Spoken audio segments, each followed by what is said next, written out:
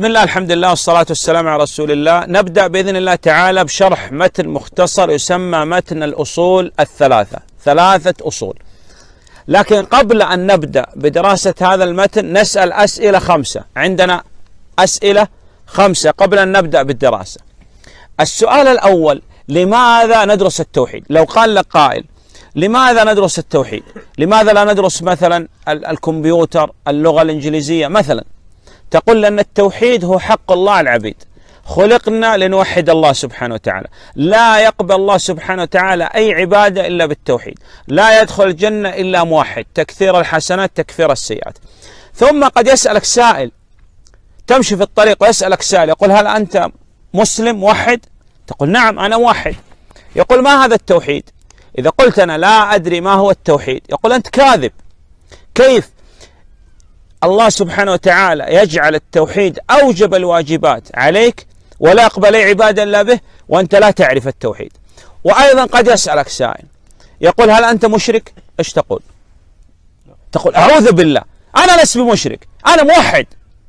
يقول ما هذا الشرك الذي حرم الله عليك؟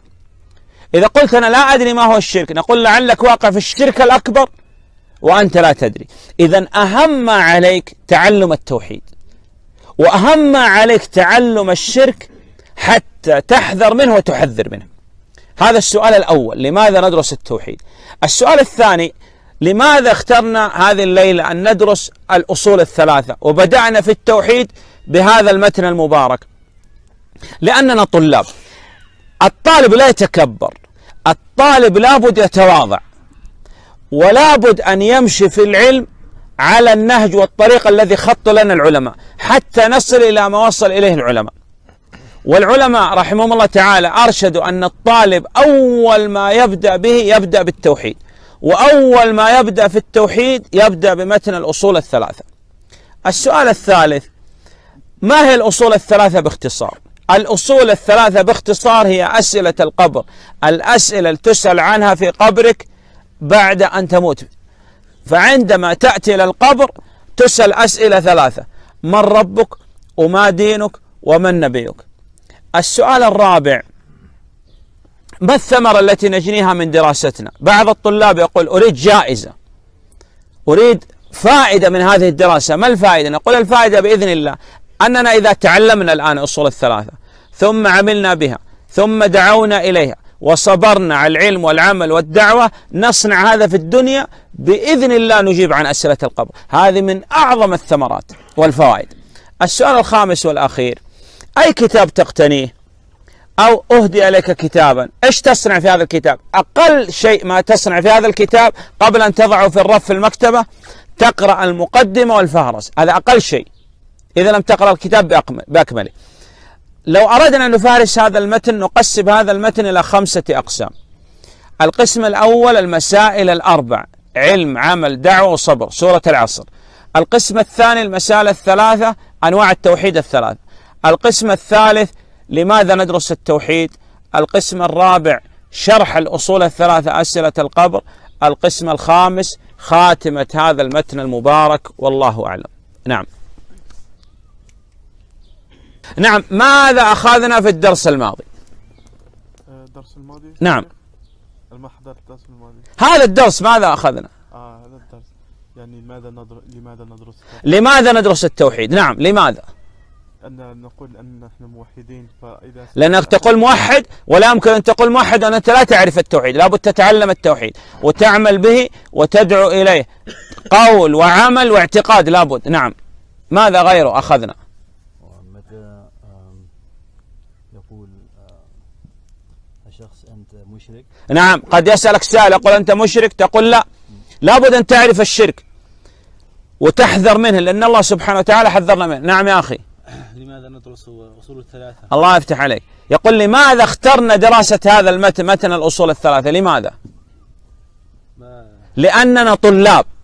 الطالب لا يمكن أن يطلب العلم على ما يحب. يعني هذا الأخ مثلا أراد أن يصبح طبيبا مثلا في الأسنان. إيش يصنع؟ يأخذ بعض المعدات ويقرأ بعض الكتب ويفتح مكان ويكتب عليه طبيب أسنان. صح؟ لا يمكن.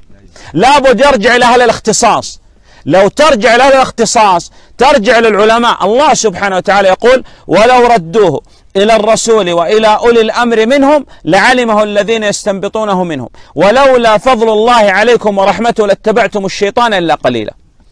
لابد نرجع للعلماء في طلب العلم. لا تطلب العلم على ما تحب كما أنك لا تطلب الطب على ما تحب.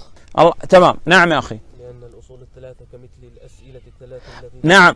يقول ما هي السؤال الثالث؟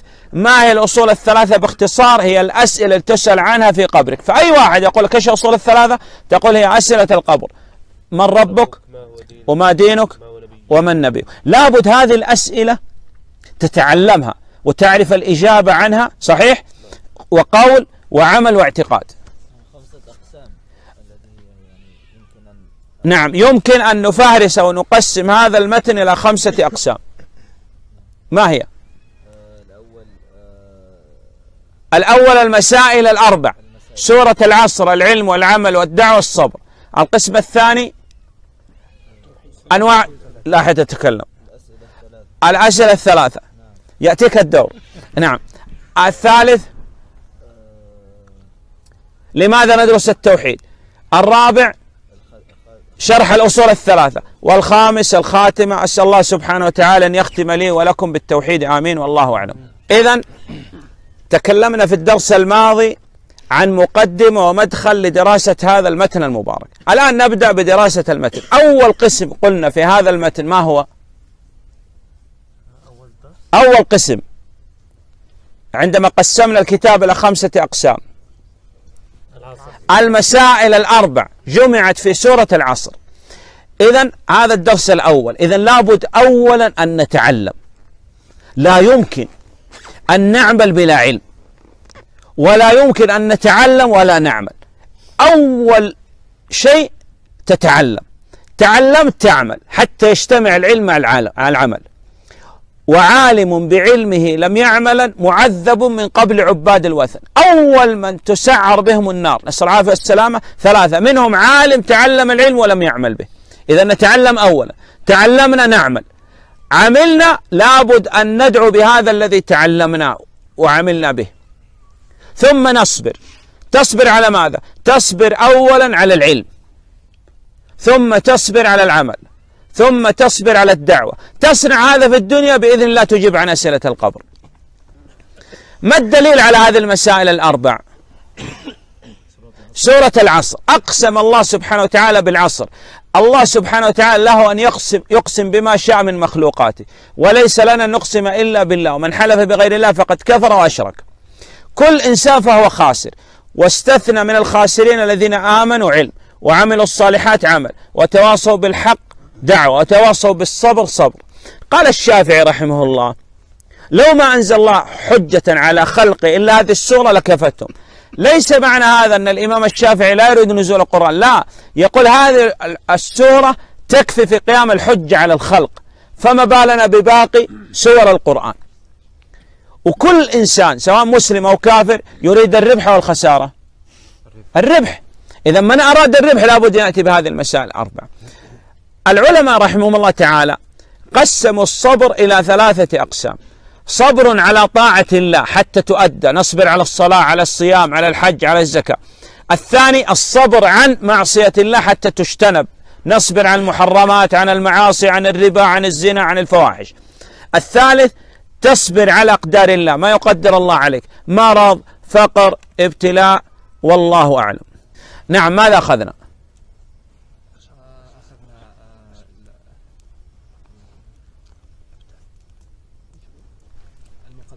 المقدمة وفيها أربع مسائل. هذه المسائل هي أولا لابد نتعلم ثم نعمل ثم ندعو. الأعذاف صحيح. لو قال لك قائل الآن هذه النار وهذا الصغير يمشي ويكاد يسقط في النار تتركه أو تنبهه. من ينبهه في الجميع هنا؟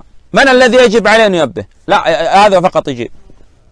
الكل أو واحد شخص بعينه أو هذا بعينه. الذي يرى حال هذا. تمام؟ هذا في نار الدنيا. فكيف بنار الآخرة؟ نسأل العافية والسلام. كيف أنت ترى الآن الكفار أوشك الوقوع في حفر النيران؟ تراهم بعينك الآن أنت وأنت عايش في هولندا. صدق والله. ما تحذرهم؟ تعثم أو لا؟ الآن لو يمشي قلنا الصغير هذا ويكاد يسقط هنا وأنت تراه ومطلع على حاله ولم تنبهه سقط تعثم؟ يضمنك السلطان القاضي يضمنك؟ نعم. فكيف بنار الدنيا وأنت ترى الآن؟ فلماذا ما نعلم الناس التوحيد؟ في فرق يا أخواننا بين الفتوى. الفتوى هذه لها كبار العلماء لها القضاة الشرعيين أما الدعوة إلى الله الذي لا تشك فيه واحد بالمئة هذا لابد تدعو إليه. بالله هل, هل يشك واحد فيكم في التوحيد؟ هل يشك واحد فيكم في وجوب الصلوات المفروضة الخمس؟ إذا هذا ليست بفتوى. هذه دعوة. الدعوة الذي لا تشك في واحد بمئة هذا لابد تدعو إليه. أما الفتوى لا يمكن أن أن نتكلم بها أبدا. نعم. ما الدليل على المسائل الأربع؟ والعصر إن الإنسان لفي خسر. نعم يا أخي أقسام الصبر الثلاثة. الأول الصبر على على طاعة الله حتى تؤدى. عن معصية الله. ما يمكن يقول على. نعم عن حتى تجتنب. والثالث أقدار الله ما يقدر الله سبحانه وتعالى عباد هذا هو القسم الأول. كثير من الناس يريد يجاهد. ويقول أنا لماذا لا أجاهد؟ أول من تجاهد لابد تجاهد نفسك. وجاهد الشيطان وجاهد النفس والشيطان واعصهما أول من تجاهد تجاهد نفسك. كيف أجاهد نفسي؟ بسورة العصر. تريد من الكافر يصلي صح؟ يتعلم التوحيد يصوم صح؟ إذا لابد أولا أنت إذا تجاهد نفسك بهذه المسائل الأربعة قبل أن تفكر في الجهاد. في جهاد يعني الكفار والمنافقين أو ما إلى ذلك سيأتي معنا بإذن الله تعالى والله أعلم. لو يسألك سائل ويقول هل أنت موحد؟ إيش تقول؟ يقول ما هو التوحيد؟ يقول بين لي التوحيد. كيف أكون موحد مثلك؟ ما هو التوحيد الذي أوجب الله سبحانه وتعالى على العباد؟ والذي كفار مكة أبوا أن يقولوا به. يعني أبو جهل يعرف التوحيد صح؟ والله يعرف. وأبى أن يقول لا إله إلا الله. فرعون أبى أن يقول. فقبح الله من أبو جهل أعلم منه بأصل الإسلام. أبو جهل رأس الكفر يعرف التوحيد. وعندنا أناس يدعون الإسلام وهو يعرف التوحيد. الآن لو جاءنا كافر وراد الدخول في الإسلام هل يكفي أن يقول لا إله إلا الله بلسانه؟ والله ما يكفي. لابد من قول وعمل واعتقاد. إذا التوحيد ما هو؟ هو إفراد الله سبحانه وتعالى بما يختص به من الربوبية والألوهية والأسماء والصفات. هذا معناه أن التوحيد ثلاثة أقسام. القسم الأول من التوحيد توحيد الربوبية هو إفراد الله سبحانه وتعالى بأفعاله أو إفراد الله سبحانه وتعالى بالخلق والملك والتدبير. الثاني توحيد الألوهية توحيد العبودية توحيد العبادة. هو إفراد الله سبحانه وتعالى بالعبادة لا يعبد إلا الله أو إفراد الله سبحانه وتعالى بأعمال العباد. الثالث توحيد الأسماء والصفات هو إفراد الله سبحانه وتعالى بما سمى ووصف به نفسه في كتابه أو على لسان رسوله صلى الله عليه وسلم وذلك بإثبات ما أثبت لنفسه ونفي ما نفى عن نفسه من غير تحريف ولا تعطيل ومن غير تكييف ولا تمثيل. يا اخواننا إحنا طلاب. الطالب يحفظ التعاريف التي أتى بها العلماء كما هي حرف بحرف. لو قلت في تعريف الأسماء والصفات من غير تحريف ولا تعطيل من غير تكييف ولا تشبيه التعريف خطأ. إذا لابد أن نضبط التعريف الشرعية كما ذكرها العلماء. أصبحت عالم عرف اللي تريد. أما الآن أنت عالم أو طالب طالب لابد تسير على التعريف الذي التي ذكرها العلماء والله أعلم. نعم. ماذا أخذنا؟ أخذنا أن التوحيد هو إفراد الله. إفراد الله سبحانه وتعالى بما يختص به من الربوبية. والألوهية والأسماء والصفات. جزاك الله خير. نعم. نعم توحيد الألوهية الذي يختص بالله تعالى. توحيد ال... الربوبية. توحيد الألوهية والربوبية أسماء والصفات كلها يختص بها الله سبحانه وتعالى. بأعمال بأعمال الله تعالى. إف... توحيد الربوبية هو إفراد الله سبحانه وتعالى بأفعاله. إفراد الله سبحانه وتعالى بالخلق والملك والتدبير. تمام؟ هذا التوحيد أقر به الكفار الذين بعث فيهم النبي صلى الله عليه وسلم. نعم.